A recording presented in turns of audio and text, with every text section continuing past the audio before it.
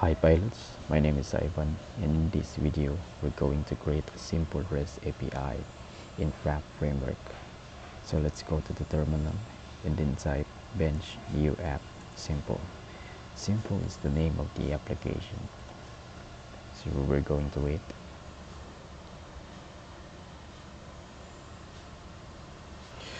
So we have the app title, description, uh, description will be simple and then the publisher will be my name and then the email will be my.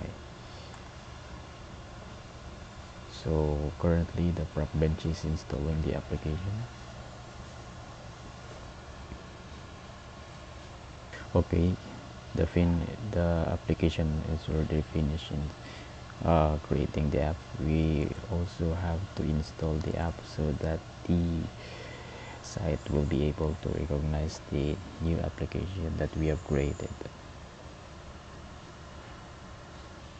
Okay now that the application simple is already been installed we're going to head over to the simple application and then create a new file called api.py so we're going to import library called frappe and then type wrap that frappe.py please allow guest true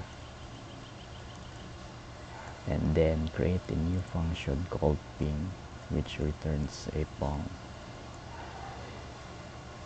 so what this frappe whitelist allows you to have is that it will be this function will be available for browsing or in the browser regardless of if the user is authenticated or not. This ping will return a message uh, pong. So let's head over to the browser and then uh, test this one. So we are at the local host 8000 and then type API method. The name of the application which is simple and then the a file name which is the API and then the function name which is the ping. So here is it as you can see it returned a message pong. And that's it. Thanks for watching